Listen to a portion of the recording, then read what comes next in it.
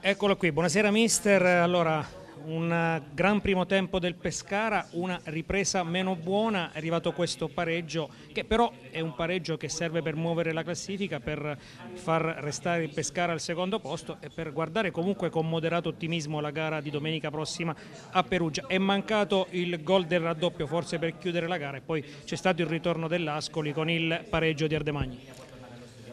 Ma è stata una partita che noi per, fino al momento del gol abbiamo gestita bene, abbiamo creato tanto eh, e raccolto poco, nel senso che abbiamo avuto tante occasioni nel primo tempo, rigore sbagliato eh, e poi chiaro, becchi un gol in contropiede, vinci 1-0, abbiamo fatto un errore madornale che, che non deve succedere se vuoi essere e rimanere una squadra competitiva.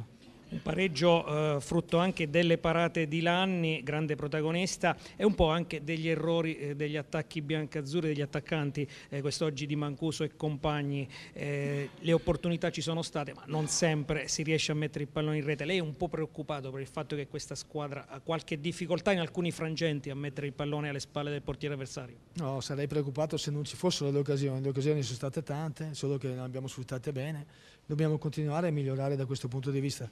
Quello che non mi è piaciuto l'ho detto, la gestione dopo il gol. Mm, non abbiamo gestito bene la partita, invece di rimanere compatti ci siamo disuniti e abbiamo preso un gol che, che si poteva tranquillamente evitare. Ne parlavamo anche con Brugman, era accaduta la stessa cosa con il Lecce, addirittura il doppio vantaggio, il 2-2, poi partita vinta. Come mai questa squadra non riesce a, a chiudere le partite, ad ammazzare le partite? È un nostro, un nostro problema, questo che dobbiamo assolutamente risolvere, eh, cercando di finalizzare meglio di essere più concreti, ma soprattutto di non subire certe ripartenze, certe situazioni che, che, in questo momento ci stanno penalizzando. Oggi non è stata una grandissima giornata per gli attaccanti, soprattutto per Monachello che abbiamo visto al momento della sostituzione imprecare un po' contro la panchina. Lei ha visto qualcosa?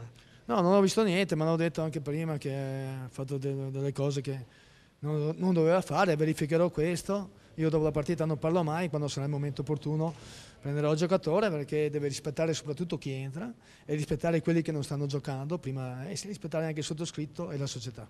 L'ultima Pillon, domenica prossima gara a Perugia, un'altra gara impegnativa con il Pescara chiamato a far punti al Curi.